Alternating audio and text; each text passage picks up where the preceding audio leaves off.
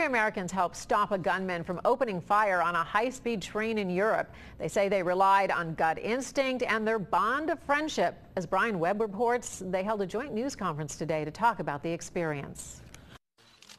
Three Americans who tackled an armed gunman on a high-speed train in Belgium last week were reunited in Paris Sunday. U.S. Airman Spencer Stone, National Guardsman Alek Skarlatos, and their friend Anthony Sadler were hailed as heroes during a press conference. French officials say the Americans, along with two other passengers, risked their lives to disarm a gunman who French media reports in this photo to be Ayoub El Khazzani.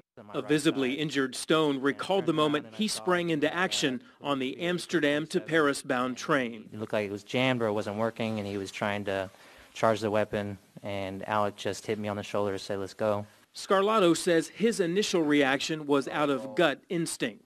I feel our training mostly kicked in after this assailant was already subdued. Cell phone video shows the 26-year-old Moroccan man hogtied on the ground. Officials recovered an arsenal of weapons. Sadler believes there is a lesson to be learned from the ordeal. The gunman would have been successful if my friend Spencer had not gotten up in times of like terror like that to please do something. Don't just stand by and watch. Brian Webb for CBS News, New York.